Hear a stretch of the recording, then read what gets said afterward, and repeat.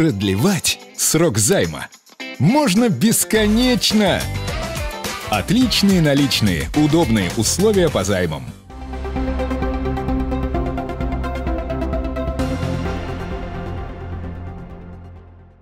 Накануне в 12.00 по московскому времени президент страны Владимир Путин в 14 раз дал большую пресс-конференцию. Почти 4 часа, более полусотни вопросов и столько же откровенных и развернутых ответов. Круг тем самый широкий – экономика, внутренняя политика, международная повестка. На этот раз обошлось без каких-либо сенсационных заявлений с его стороны. В 2019 год Россия вступает, как и положено мировой сверхдержаве, полностью предсказуемом и управляемом режиме и без каких-либо провалов во внутренней и внешней политике Журналисты задавали вопросы самые различные, начиная от личной жизни президента и заканчивая внешней политикой страны. Между тем, президенту был задан вопрос, который волнует большинство россиян, именно вопрос о повышении цен на топливо. В чем разница между нашей ситуацией и ситуацией во Франции, связанной, связанной с бензином, с нефтепродуктами и так далее? Французское правительство пошло сознательно на повышение цен на нефтепродукт и на бензин. То есть они сделали это сами. Это их политика. Они сделали это для того, чтобы перераспределить таким образом э, ресурсы, в данном случае ресурсы граждан, на а, на решение других вопросов э, в сфере энергетической политики направить деньги, которые они получат от э, продаж бензина и дизельного топлива, э, масла на э, развитие альтернативных видов энергетики. Солнца, ветра там, и, и так далее, и так далее.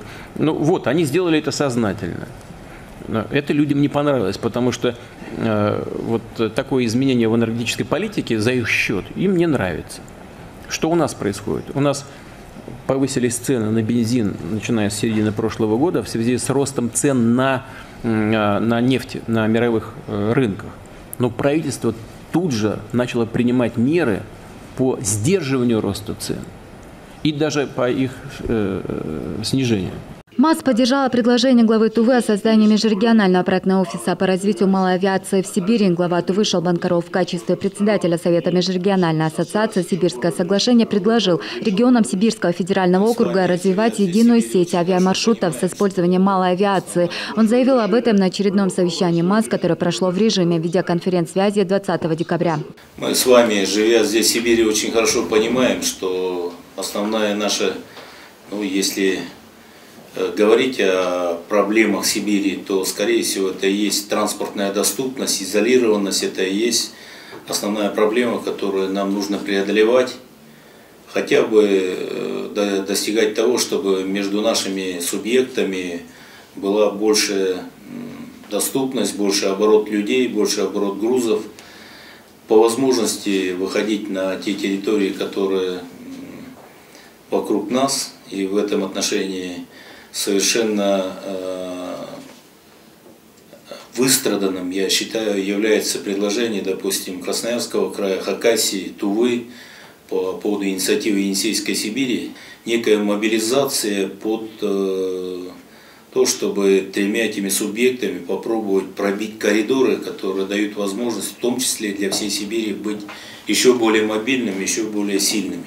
Как было отмечено в ходе совещания, сегодня федеральный бюджет субсидирует межрегиональных авиаперевозчиков и авиасообщений между крупными и средними сибирскими городами. В то же время не проработаны вопросы логистики, содержания, создания малых аэропортов в небольших населенных пунктах. По итогам совещания был одобрен и запуск проекта развития межрегиональной авиамаршрутной сети Сибири с использованием малой авиации, под реализацией которого при МАЗ будет сформирован отдельный проектный офис.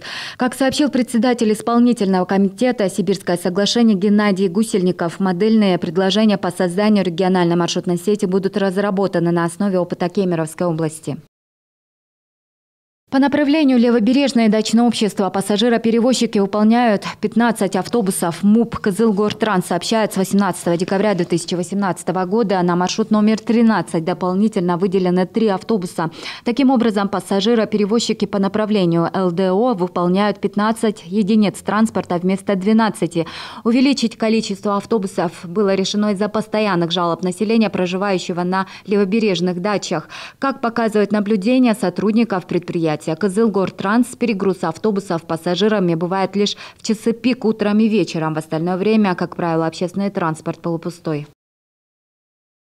22 декабря Россия отмечает День энергетика. Это профессиональный праздник всех работников промышленности, охватывающий выработку, передачу и сбыт потребителям электрической и тепловой энергии, которые они отмечают в один из самых коротких световых дней в году.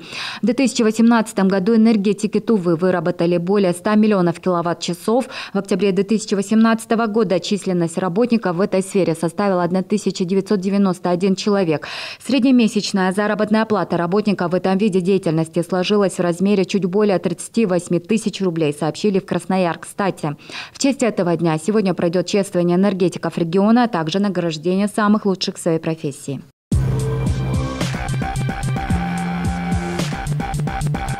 Красота притягивает взгляды. И подарки. Купите красивую шубу и выиграйте новый немецкий автомобиль. Белковятские меха. С 19 по 25 декабря. ЦУМ.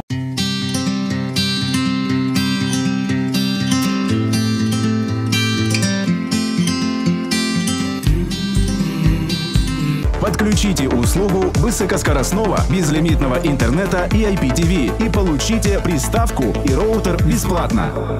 Подробнее об акции на сайте www.tuva.ru и по телефону 37070.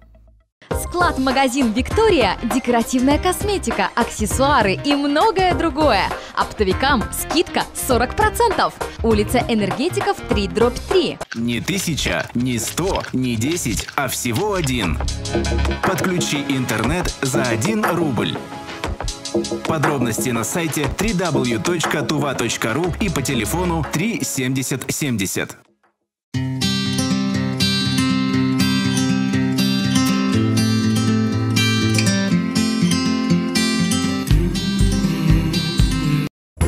Телефонный аппарат бесплатно. Общайтесь без ограничений. Подключите телефонную связь и получите аппарат бесплатно. Принять участие в акции могут только действующие и новые абоненты сети интернет от АО «Тыва Связинформ». ТСИ 37070 www.tuva.ru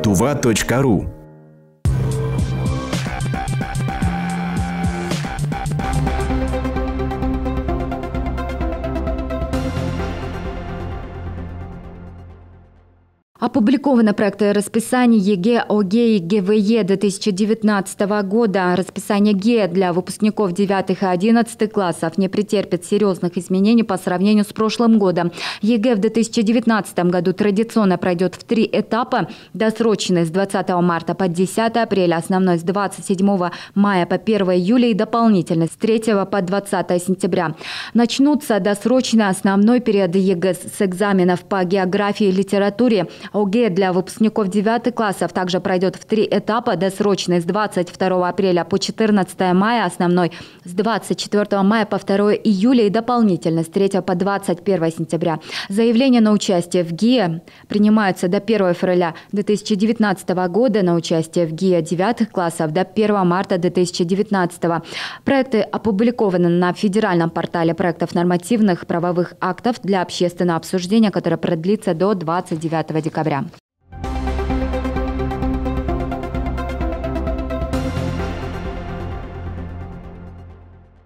В Туве тяжело больные туберкулезом получили шанс на излечение. Именно в противотуберкулезном диспансере началась практика по внедрению высокотехнологичного хирургического вмешательства по установке клапанного бронхоблокатора, которая была поставлена в рамках приоритетного проекта «Пути к долголетию». Дорогостоящий вид операции по установке клапанного бронхоблокатора проведена на днях уже второму пациенту 22-летней девушке. Первая показательная операция проведена 30-летнему мужчине в июле этого года московскими врачами. Первые результаты Результаты операции ожидаются примерно через полгода. Установка клапанного бронхоблокатора показана больным с распространенными деструктивными формами туберкулеза. Механизм воздействия дорогостоящего приспособления, которое устанавливается в просвет бронха, позволяет перекрыть доступ воздуха в пораженный участок легкого при вдохе и способствует свободному выходу воздуха через бронхи. При выдохе пораженный участок легкого спадает и достигается заживление каверны.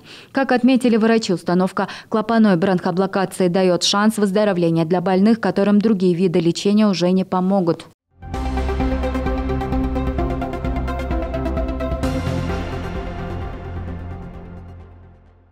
Состав сборных России в 2018 году вошли 68 тувинских спортсменов. Об этом сообщил глава Тувы Шалбан Караол в ежегодном чествовании спортсменов, показавших лучшие результаты в спорте высоких достижений. Если в 2017 году в сборную команды России входило 64 тувинских спортсмена, то в этом году их стало 68.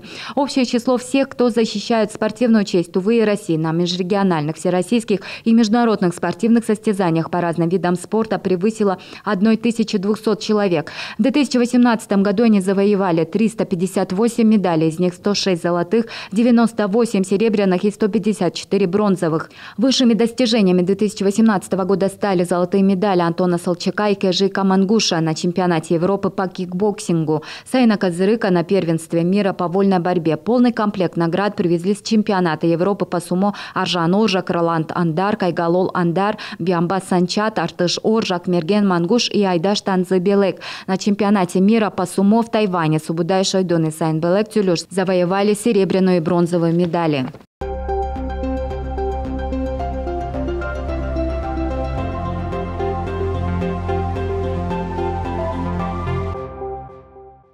Спонсор прогноза погоды – компания «Отличные наличные». Компания «Отличные наличные» рада видеть вас в любом из своих офисов более чем в 80 городах России, от Камчатки до Калининграда. Компания «Отличные наличные». Получайте займы на займ-карту в любой момент, просто по звонку. Переплата по займам такая маленькая, совсем малышка. Отличные наличные, ну очень маленькая переплата по займам. По республике ожидается переменная облачность, местами небольшой снег, ветер северо-западный 2,7 метров в секунду. В Кызыле переменная облачность, ночью небольшой снег, днем без осадка, ветер северо-западный 2,7 метров в секунду. Температура воздуха ночью минус 29, минус 31, днем минус 23, минус 25. Переплата по займам такая маленькая, совсем малышка. Отличные наличные, ну очень маленькая переплата по займам.